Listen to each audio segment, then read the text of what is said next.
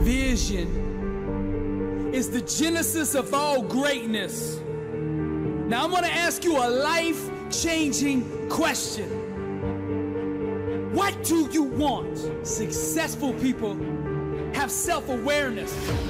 They know who they are, what they want, and why they want it. Questions will take you wherever you want to go. So I'm going to ask you again what do you want in life? Vision is the genesis of all greatness. Your imagination is the womb that will give birth to your future.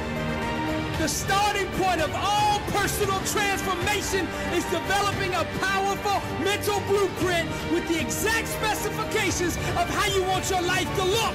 Clarity sets success in motion. Where there is no vision, the people perish. The blessed and unstoppable think different. They are the mental architects that imagine and design with their mind the kind of world they want to live in. See, when you have a strong vision for your life, you will begin to attract the people and circumstances needed to bring it into fruition. Anything that you can envision in your mind clear enough and long enough, you can make happen. People without a vision are walking around in life in a state of confusion. Successful people understand that the world is pliable and with enough mental clarity they can bend and shape their future at will. Vision is the genesis of all greatness. What do you want? You got to start with this question in each area of your life. It's time to bring your whole life into focus. What do you want your marriage to look like? What do you want your finances to look like? What do you want your body to look like? What kind of friends do you want to have? What kind of relationship with God do you want to have?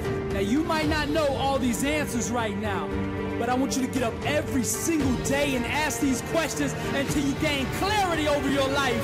People with vision are magnetic, they attract success into their life. 90% of the people in this world are walking around with no clear vision for their life.